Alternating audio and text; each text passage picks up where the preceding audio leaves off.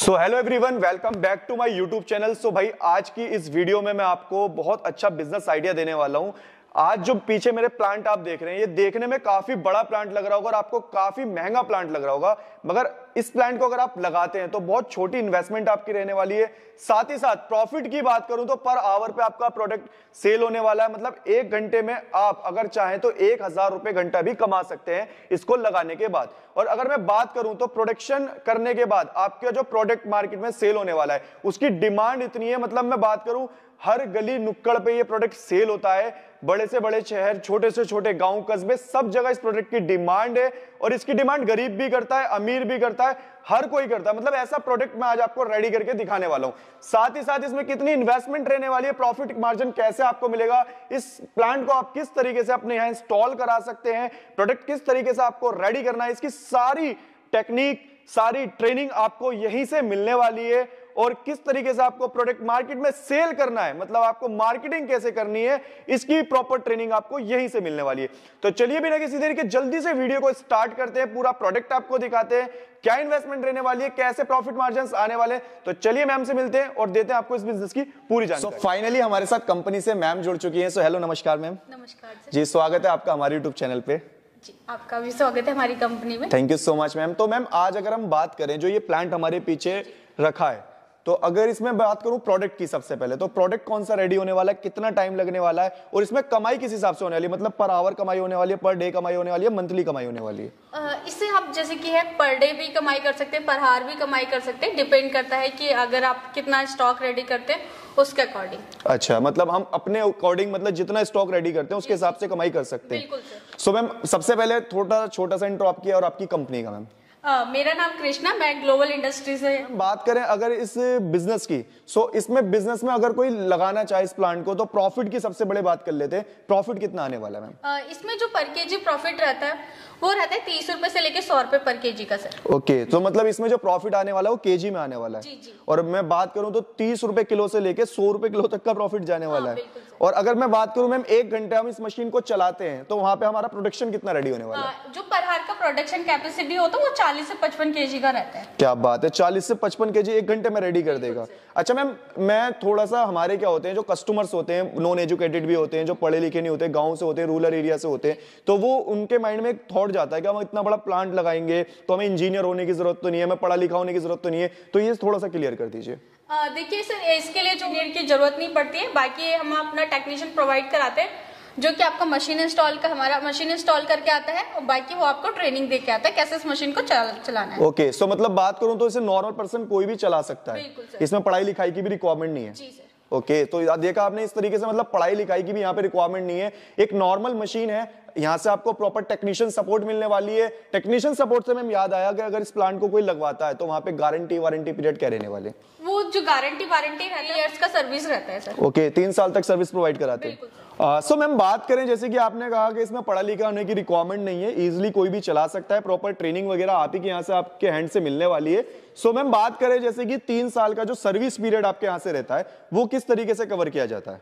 जैसे कि अगर आपकी मशीन में जैसे इंस्टॉलेशन के बाद अगर कोई भी दिक्कत होती है तो वो आपको तीन साल के अंदर जो सर्विस रहती है उसमें प्रोवाइड कराया जाता है सर ओके सो मैम सबसे बड़ा डाउट सबसे बड़ा क्वेश्चन कस्टमर्स का यहाँ पर ये रहते हैं कि मान लीजिए अगर कोई इसे इंस्टॉल कराना चाहता है मतलब आज मैं अगर इसे ऑर्डर देता हूँ तो आप मुझे कितने दिन में रेडी करके देंगे और उसके बाद इंस्टॉलेशन कितने टाइम में करवा हाँ, देंगे? जैसे की अगर आप मान के चलिए आपने मुझे आज ऑर्डर प्लेस करा तो मैं आठ से दस दिन के अंदर इसको दे दूँगी।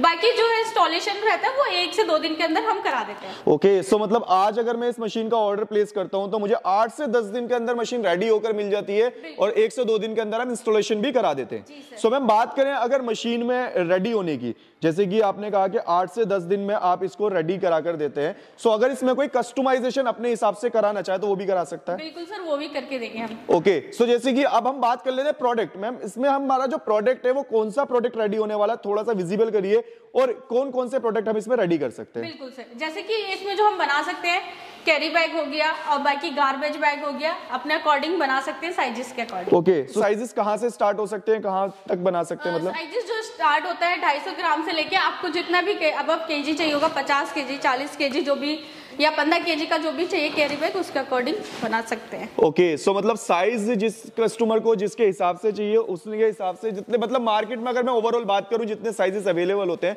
वो सारे के सारे साइज़ हम यहाँ पर इससे बना सकते हैं। सो so, जैसे कि हम बात कर रहे थे प्रोडक्ट की सो so, प्रोडक्ट दिखाइए कौन कौन से इसमें बनने वाले मैम जैसे कि हमारे पास जो है कैरी बैग का सैंपल है ये आपका कैरी बैग बन जाता है। Okay okay. बाकी ये गार्बेज बैग है। ठीक है।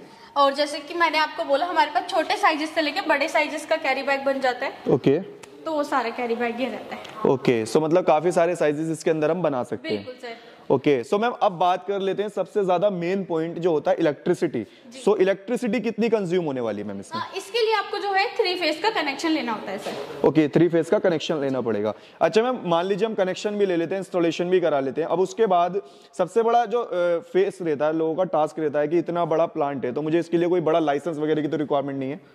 इसके लिए लाइसेंस चाहिए होता है सर क्या क्या लाइसेंस चाहिए होते हैं और वो कौन कौन प्रोवाइड कराता है? वो थोड़ा सा आइडिया दीजिए। जैसे कि इसके लिए जो दो लाइसेंस चाहिए होता है जैसे कि अगर आपको सेंट्रल में वर्क करते हैं तो सेंट्रल पॉल्यूशन कंट्रोल बोर्ड का लाइसेंस चाहिए होता है। Okay. अगर स्टेट में वर्क करते हैं तो स्टेट पॉल्यूशन कंट्रोल बोर्ड का लाइसेंस चाहिए होता है सर okay. so, मैम इसमें क्या रहता है कि काफ़ी सारे कस्टमर्स इसके लिए एजुकेटेड नहीं होते उनको नहीं समझ में आता कि लाइसेंस हम किस तरीके से लें। तो उस जगह पे कंपनी का सपोर्ट क्या रहता है? वो सपोर्ट रहता है कि हम उनको गाइड कर सकें कि कैसे अप्लाई करते हैं उसके अकॉर्डिंग हो जाए। ओके okay, वैसे तो आज की डेट में हर एक चीज़ ऑनलाइन है ऑनलाइन ही कर सकते हैं भागने दौड़ने की ज़रूरत ही नहीं पड़ती। ओके सो इस तरीके से आप अच्छा मैम थोड़ा सा अब यहाँ पे ये बता दीजिए कि इसके अंदर प्रोडक्ट किस तरीके से रेडी होता है क्या क्या प्रोसेस रहता है?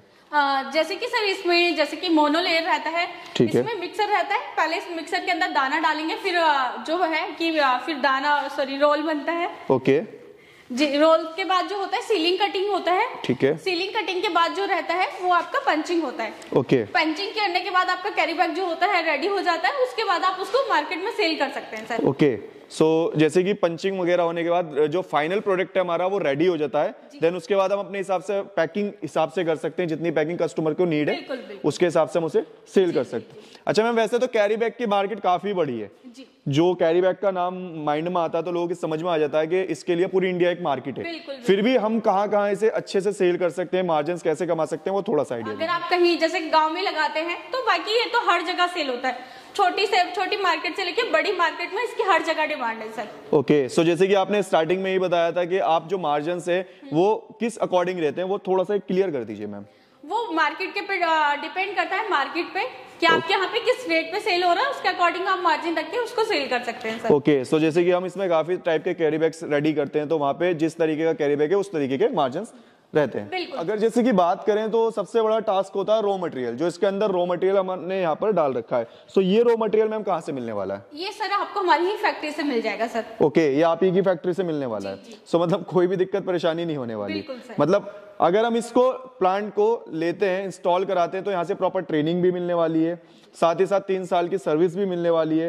प्रोडक्ट किस तरीके से रेडी करना है मार्केटिंग कैसे करनी है इस तरीके की सारी सपोर्ट आपको मिलने वाली है। साथ ही साथ क्या क्या लाइसेंस की रिक्वायरमेंट पड़ने वाली है वो लाइसेंस आप किस तरीके से कैरी कर सकते हैं उसकी सारी भी यहाँ से जानकारी मिलने वाली है। सो मैं बात करें जैसे काफ़ी बड़ा प्लांट है तो लोगों के माइंड में ये भी रहता है कि कितने एरिया की मुझे रिक्वायरमेंट पड़ने वाली है। सर ये डिपेंड करता है कि आपको आप इसका हाफ़ प्लांट लगा रहे कि फुल प्लांट जो फुल प्लांट के लिए आपको एरिया चाहिए होता है वो 1100 से लेके 1600 स्क्वायर फीट का स्पेस चाहिए होता है। Okay okay. सो so, जैसे कि मैम बात कर लेते हैं अब जैसे कि ये प्रोडक्ट है काफ़ी डिमांड में रहने वाला प्रोडक्ट है डिमांड पूरी मतलब डिमांड एंड सप्लाई वाला प्रोडक्ट है। सो so, काफ़ी लोग नहीं चाहते कि मैं इतना बड़ा पैसा लगा के इतना बड़ा प्लांट लगाऊँ। तो जो छोटी पूंजी से स्टार्ट करना चाहते हैं मिनिमम अमाउंट से वो कैसे कर सकते हैं?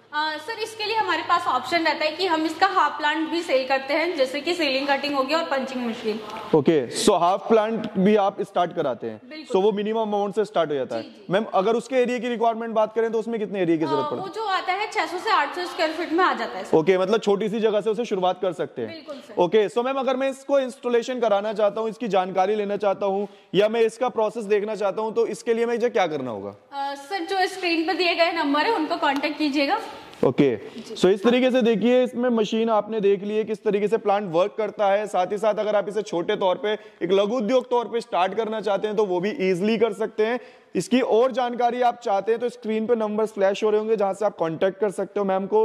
बाकी सारी डिटेल्स आपको वहाँ से मिल जाएगी कि किस तरीके से इन्वेस्टमेंट करनी है कैसे प्रॉफिट आप ले सकते हैं और कैसे इसकी रनिंग वीडियो आप मैम से लेके देख सकते हैं। Thank you so much watching this video